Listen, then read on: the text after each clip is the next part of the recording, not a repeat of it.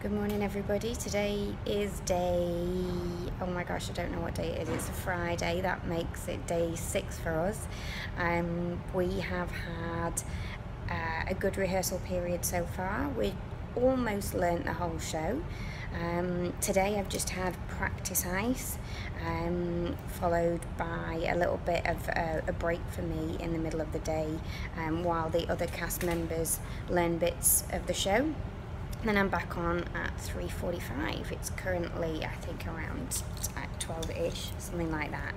Um, so what's happened so far? So far we boarded the ship in Barcelona, uh, very, very rushed from hot ice, um, no major hiccups. Uh, then um, we have just, to be honest, just been in rehearsals. We've had a little bit of time to explore the ship. I hope everybody's seen all the nice uh, photographs. It is beautiful, absolutely gorgeous, the ship. Um, I think we'll be very happy here to be honest. Um, so yeah, so just work, work, work as you would expect from Owen and I.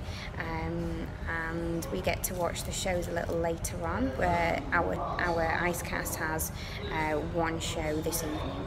So, so yeah, so all happy, good, healthy so far. Um, I know these videos will probably reassure people back home that we are alive and well and happy. So hope everybody's okay back home and I'll uh, tune another one in for you soon.